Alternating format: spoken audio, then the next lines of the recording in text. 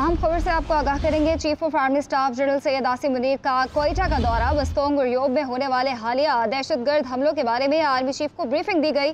Army chief ने Balochistan police और कानून नाफिज करने वाले इदारों के अहलकारों की बहादुरी को सराहा और शहदा के अहल खाना को मुकम्मल ताउन और हमायत का यकीन दिलाया है। इसी हवाले से बात करेंगे। Deputy bureau chief Islamabad Ejaz Ahmed हमारे साथ मौजूद हैं। एजाज बताएगा इस हवाले से।